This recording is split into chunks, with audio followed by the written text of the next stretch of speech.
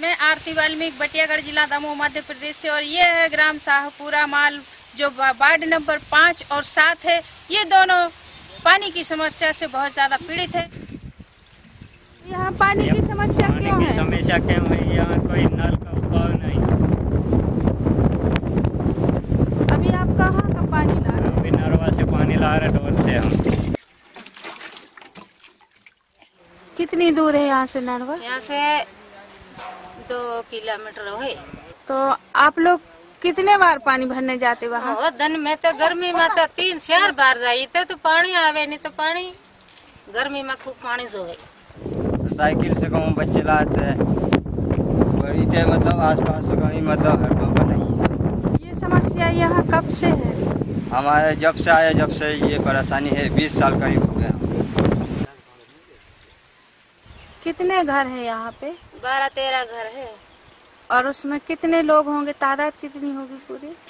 इतने ना सेपरा गाँव में सौ डेढ़ सौ मनक है। बहुत परेशानी आवे हमारे पानी की। हेड पंप हमारा गाँव में नहीं है सेपरा गाँव इसके लिए आपने कभी आवेदन किया है? हाँ किए हैं हम। जो जब मीटिंग आई नहीं जब हम मतलब यही हम देते हैं आवेदन। जब भी मतलब कोई सुनवाई नहीं हो रही है। हमें आवेदन लगा लगा के चार तो पंचायत में लगाए आवेदन तो भी हमारी कोई सुनवाई नहीं हो रही। है जहाँ वो करण सिंह के पास हमने लगाए कोई भी कोई सुनवाई नहीं हो रही। सिंह कौन है? वो मगरून का अध्यक्ष है। तो आपने ये आवेदन कब लगाए थे? जे हमने लगाई थी वो दीवार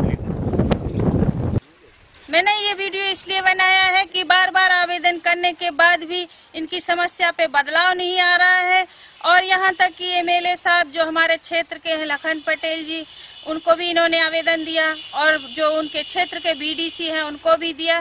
फिर भी इस पे बदलाव नहीं आया। इस समस्या पे जो बदलाव हो सकता है, वो है हमारे श्रीमान मिश्रा जी, जिनका फ़ोन नंबर है चौरानबे चौबीस सड़सठ अट्ठाईस पैंतालीस। मेरी सभी प्रभावित लोगों से अपील है कि फ़ोन करें और अपना दबाव बनाएँ। और बदलाव की कोशिश करें।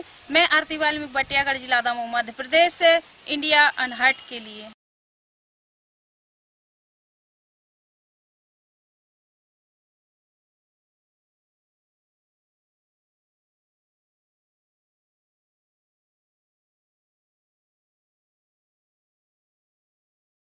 हाँ किए हैं हम।